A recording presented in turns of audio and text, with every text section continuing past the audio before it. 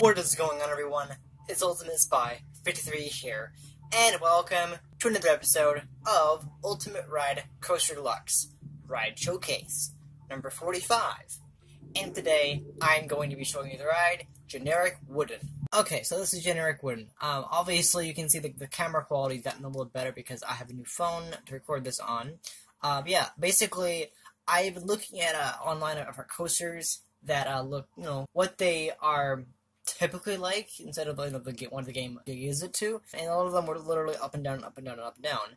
And so I figured I might as well do that. I might as well have a coaster like that. Um, yeah, I just feel like it's better just just have a generically wooden coaster. I couldn't call it coaster because it was not a thing, so I had to just call it generic wooden. But honestly, I think it's a really good coaster. I I, I studied a lot of, of the coasters on on YouTube from the point of view coasters from different parks, and this one um, the one I have, most of them at least, had just a lot of ups and downs. I mean, obviously, there's a lot more that this game can do than just that. But I figure I want to try something simple and make it make it realistic, make it something like a what a real coaster at a real theme park would actually be like. So, um, yeah, anyway, um, enough of that banter of mine. Sit back, relax, and I hope you enjoy. All right, let's go.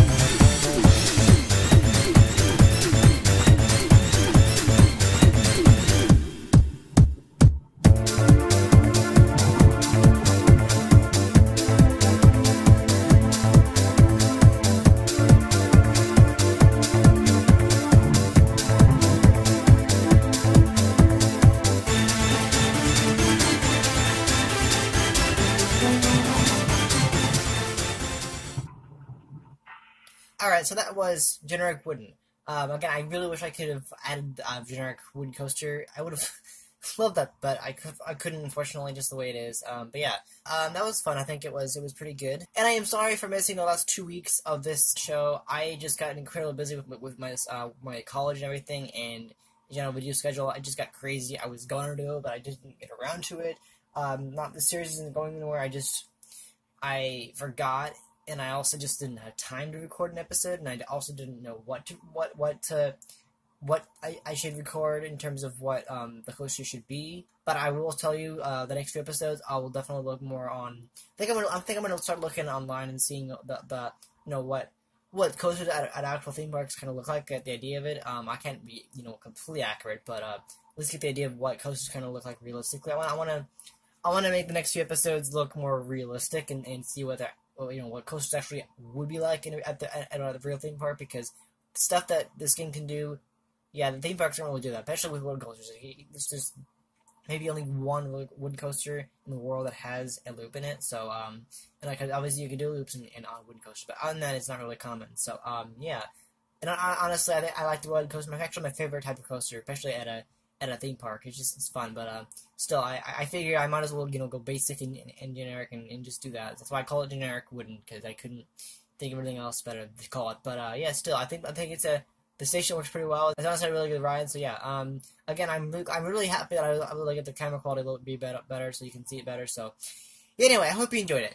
So yeah, anyway, thank you guys so much for watching this episode of Ride Showcase. I hope you enjoyed it. If you did, please hit the like button. I really do appreciate the support. And if you're new to this channel, subscribe for more rides like this and other great content. As the latest series I do. And I'll be back next time with another episode. Alright? See ya.